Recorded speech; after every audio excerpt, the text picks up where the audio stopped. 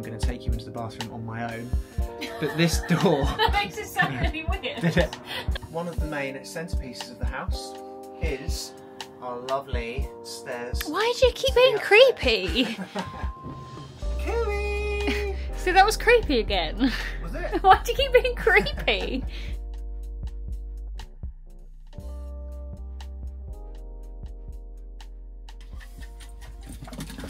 Oh, that's better. Oh, it's time for a fight. Oh, oh it's cold outside.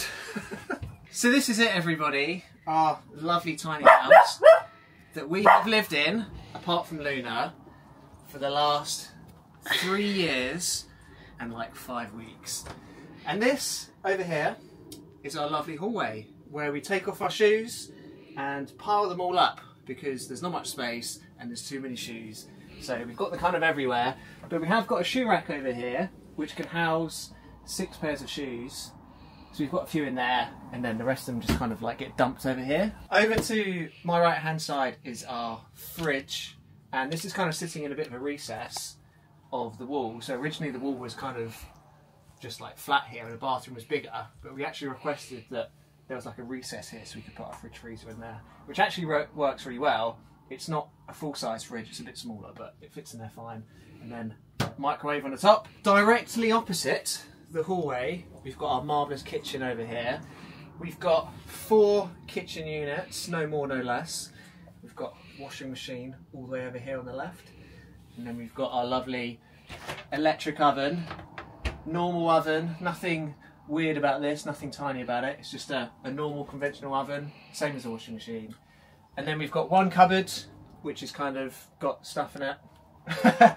and then we've got a four drawer unit over to the right. This isn't normally this tidy. We normally have like bits and pieces everywhere as we go.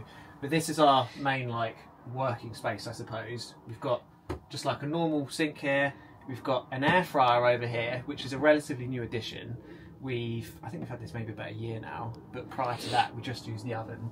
But this is really useful, we use that all the time. Um, got a four burner hob here, over there. And then we put up this pan rack in the corner. It's got all our pots and pans and a few bits and pieces on it as well. If we didn't have this pan rack, we would have like nowhere to put anything. So yeah, this was one of the best things that we bought. Naturally, we don't have. Oh, hello, Digby. Bashed it. Naturally, we don't have much storage space in our kitchen. So what we actually did is we removed the plinth underneath the kitchen units, and we're kind of using the space underneath. And what we even got under there? We've got. Oh my goodness me, there's a fight going on. we don't have too many things underneath there because I'm a little bit worried about not having enough airflow and things getting mouldy. But we have a couple of things, so dog food. We've got some dumbbells under, under here, a couple of heavy dumbbells. Sprite. Sprite cans. We've got the food processor and a few attachments and stuff under there. Um, and that's pretty much it. I do keep a condensation trap under there though, so if there is any moisture, then that should kind of like slurp it all up. But yeah, it's quite useful to utilise this space under the kitchen because there are like limitations to what we can have, and you kind of need to utilise the space really. Come have a seat. Come on. Go, Come on. go, go. Go on then. Come on. Up here. Go. Come on, Dix. Go on, Dix. Sit with Mama. Oh, Okay. This is the kind of living area, living space, sofa area. It is a sofa bed, but we haven't used the sofa bed very much. Josh has used it a couple of times because he's just wanted to kind of, I don't know, have a sleepover downstairs or something. It's also the kind of sofa that has storage in this part, uh, and so we've got basically just like paperwork in there, like any important documents, and we've got a few different bits and pieces. Underneath me here is a footstool, which obviously makes the sofa good for fighting. good for fighting. Get off.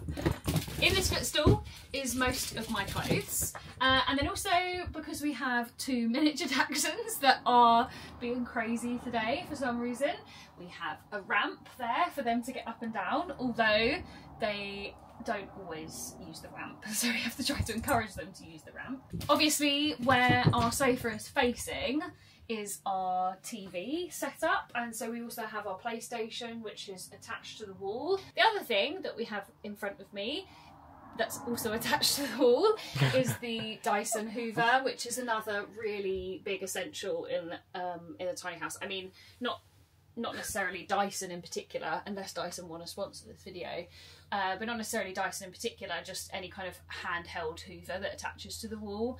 Uh, if you're going to live in a tiny house, you definitely don't want a, a big Henry the Hoover, um, if any of you know what that is. One other thing we do have is our current scratch map of the UK. All of the bits in green we have visited. And then all of the, the golden areas we're yet to visit, so we've still got a long way to go, but we're gradually scratching off the UK map. Before we leave, our main room, which by the way is only eight feet wide, and I don't actually know how long this is. Well, how long's the house? The whole house is about 18 feet long, but I think that might be the external dimensions. Okay. So the internal is like 17 and a half feet. But this section over here is, I suppose, what you could say our dining room. This is where we kind of just eat and Josh does his homework. I don't know. It's kind of a bit of a desk space, really, but we never actually use it as a desk because we work on the sofa. But this is kind of our dining room anyway. We've got a nice table here, a lovely plant, beautiful window, and then well, The- we have got the bin? two. Huh? The bin, The bin, yeah, we've got the bin. which goes under the. Yeah, kind of almost Table. under there. We do have two fold-up chairs, which we only ever really use One one, and even then we don't use it very often. One of us tends to sit on the shoe rack footstool thing because that just like works quite well, and then yeah, we don't really get the chairs out very often, but we do have a couple of chairs in case we need them. Becky's finally got the dogs calm, so I'm going to take you into the bathroom on my own. But this door. that makes it sound really weird. Did it? I'm going to take you into the bathroom on my own. This door back here is the gateway to the bathroom. It's very exciting. Be prepared.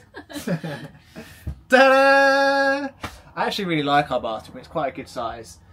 I don't really know the best way to show you this because I can't really get too many angles in here. But basically, let me turn the camera around. So as we go in the bathroom, we have kind of like towels and stuff hanging up on hooks and then dog towels up there. We've got a towel rail on the wall, a heated towel rail, which has got uh, the dog coats and vest hanging on at the moment. They're drying. We've also got the dehumidifier running at the moment to try and keep this room dry. But this is basically all the space that we have. I reckon it's around about a metre squared, I suppose, in there. And then we've kind of got the vanity unit and the sink. Our toilet is around to the left there. We've got a composting toilet, so it doesn't have a water supply or anything. We can talk a bit more about that in another video. And we've got a lovely window at the back, some photos on the wall. And then on the other side, we've got another towel drying there. We have our shower. So we actually have a reasonably good sized shower. I think it's about just over a metre long and about 90 centimeters wide, I think, which is kind of like a standard size for a shower. Everything in here the sink, the shower, the oven, the washing machine everything is just like a standard full size appliance. The shower's not an appliance or anything, but everything's like basically full size, so we're not compromising on anything like that. I don't know why I'm holding these. I'm just like You're hold- holding them up as well. I'm just like holding off a spray bottle, and I really don't even know why I'm doing that.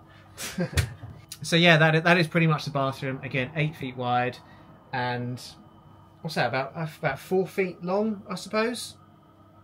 Or yeah, eight feet by four feet, something like that. And then obviously behind us is the recess for the the fridge freezer.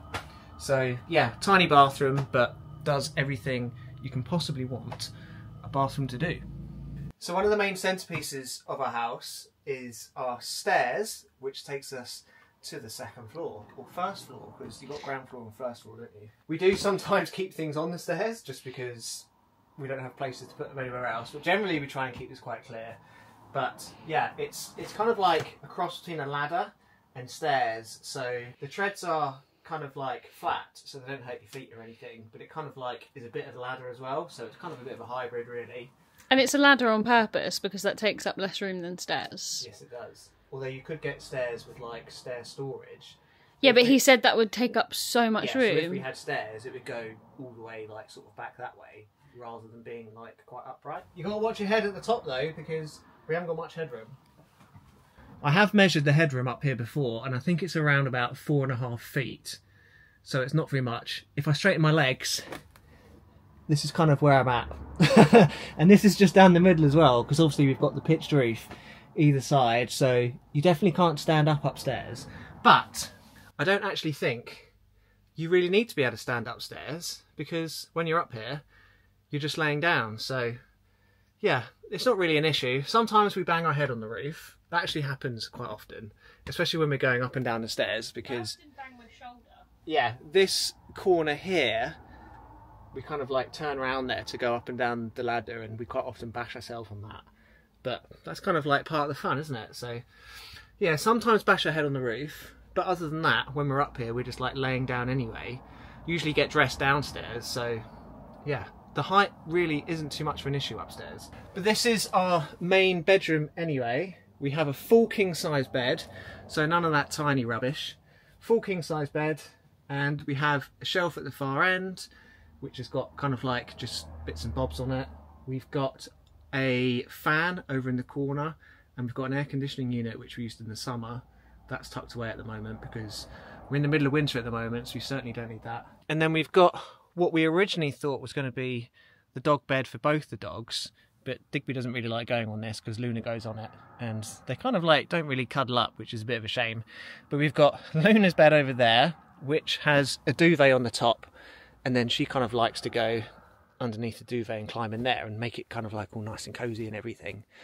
So yeah, that's Luna's bed over there, and then at the foot of our bed, this is Digby's bed.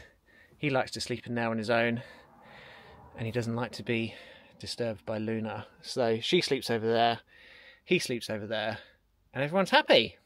Becky's coming up the stairs to show the other half of the upstairs. and Digby's coming because otherwise he's going to bark. What are you doing, Diggs? I think this is one of Digby's favourite places. Oh, shake it off. Shake it off. So this, I wonder if I can do like a tricep hold. Yeah, you can. Oh, Oh. So this is the bridge which leads to Joss's room, and the bridge is just really really cool. Um, basically, I suppose the point, the purpose in having the bridge is so that instead of just having like a fully covered over top floor, is that you get like the light still coming in from upstairs. And you're not just blocking out that light and making downstairs really dark. Uh, speaking of light, we have a Velux window over there, Dun, dun, dun, uh, another window over there, which dun, you've dun, seen, another window there. and Then in Joss's room, there is another dun, dun, Velux window. Joss wants to, Digby, wa- Digby wants Oh, come sorry, Digby. room. There you go. They're showing everyone too. Okay, that's comfy, is it? This is Joss's room. This is obviously quite a small room. It's basically just space for a bed, and he's got a little dinky chest of drawers. He doesn't need much space anymore. When we moved into this tiny house, he was 10. Done, yeah. He was 10, and by the time Joss was 10, I mean, this is different for every child, but by the time Joss was 10, he was done with most of his toys and things like that, and he was just into his Nintendo or his Xbox or whatever it whatever game console was that he had at the time. So when we first moved in, in the move-in video, there is a video of him like lining up all his teddies on his bed, which is really, really sweet. This is my bed in the tiny house. I've got all my teddies. I've got Digby sitting on there. Digby likes looking out the window and chewing my llama. But apart from that, he didn't really have too much stuff, so he didn't need a big room. Um, and he was really kind of content with this space. But yeah, this is his little room with his clothes and a few bits and bobs, um, school bag and stuff like that. Yeah. The only difference with Joss's room as opposed to our room is it is literally just the pitched roof and Yeah. that's it. So I have slept in here before. The bed fits fine long ways, but you have to watch your head for like banging on the roof. Oh yeah, when Luna had her operation. Yeah, yeah, that's right. Yeah. I was like, why did she sleep in it? Yeah, but you've got to just be careful of kind of like banging your head on on the um on the roof there. Whereas in our room, we have kind of like an open space at the head, so you don't really have that that same problem. So there you have it, everybody. That is kind of pretty much a full tour of our tiny house. A few things have changed over the years since we first moved in, but the house itself size wise is exactly the same so but i really hope you enjoyed this video. Thank you so much for watching and we'll see you next time